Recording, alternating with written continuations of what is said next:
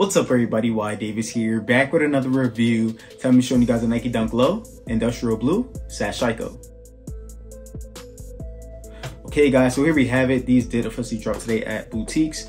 Um, I did get this from the Hush Life Boutique in Englewood, New Jersey. Now this shoe retail for 120 bucks today. Um, the resale isn't going for that much. So I'm gonna show you guys front of the box right here. I did go with a size nine on this. As you guys can see, we don't get a suggested retail on the box. Um, regular Nike Dunk box, as you guys can see, open up top of the box, we do get the blue stamp on the inside. This is just my receipt.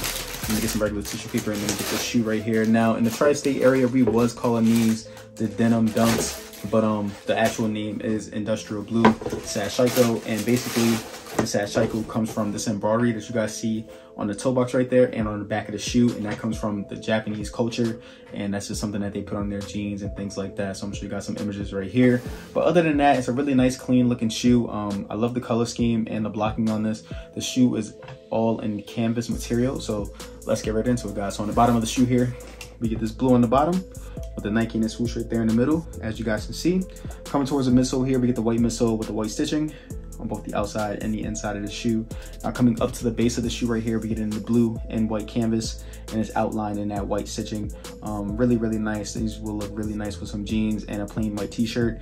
Very basic fits with these shoes right here on the outside of the shoe. As you guys can see, it is pretty nice. I don't really see too many stitching errors, but I do see a little bit of glue stains on the outside and all the way around the shoe towards the bottom where the midsole and the canvas meet.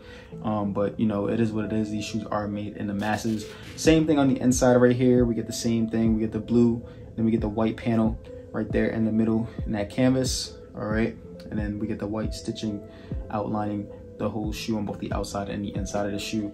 Now with that being said, you know, if you wear these on a windy day or a dusty day, they will be very hard to keep clean, um, especially because it's white canvas. But other than that, it is a really clean shoe. Just be mindful when and where you are wearing these because they're gonna be very hard to clean once they get dirty. Um, coming towards the front of the toe box here, we get that Sashiko embroidery right there in blue. and It is basically like a cross, as you guys can see. These will not crease up on you, especially when I push down on it. You guys don't have to put rubber shoe shoes in these because they do have that canvas material. Um, looking at the mud guard here, we get this blue on the mud guard and that canvas material. And as you guys can see, again, that glue stains all the way around the front on both shoes. Okay, under that we get some white, some white stitching, and then we see the blue stars creeping up from the bottom of the shoe. Now, unfortunately, we only do get one pair of laces in these, and they come with some white laces. All right, we get this white canvas tongue. I'll show you guys that. And at the top of the tongue, it says Nike with the swoosh under it in blue. And the top of the tongue is outlined in blue as well. On the inside of the tongue, it just tells us where the shoe is made from and everything like that. On the sock lining of the shoe, we do get some blue in there on the sock lining. Show you guys that. Do get some tissue inserts as well. Okay, um, take out these insoles on the shoe. It is in blue and it says Nike with the swoosh on it. Okay, this is the cheap insoles. So we get the gray on the back all right um, be careful when you are taking these out because mine was a little bit hard so be careful with that. You don't want to rip the actual insole. Under the actual insole it is white and we get some white stitching. The production dates on this was 08 322 to 09 22 22 so i'm gonna give you guys a quick look at that if you guys are checking your pairs with me. Okay coming towards the back of the shoes right here. Get some more of that Sashiko embroidery up there in white this time in the background of that is in that blue Okay, under that we get some white canvas and then it goes back down to the blue canvas right there. All right, now I'm showing you guys my foot is in the toe box right now.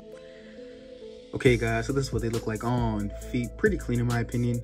Now I'm a shoe size 9, I'm normally get 9.5 in on my shoes. I was able to go true size on these. And I will say that it does feel like a normal Nike Dunk low in my opinion, or fit like a Nike Dunk low in my opinion. I'm gonna show you guys my foot is in the toe box right here. So I'm looking around, but if you guys cannot tell, my big toe is right here. So I do have a good amount of space in the front of the toe box. Um, I don't feel this material on the inside or on the outside actually. Maybe it's because of that canvas material. And I will say that I do have a little bit of slippage on here, as you guys can see. Now, um, if you have a wider foot or need a little bit of extra space, I would still say go to the size because it probably will fill up a little bit more of the shoe. But if you ever had a Nike Dunk Low before, you know that it's a little bit narrow in the toe box and then it starts to open up towards the back.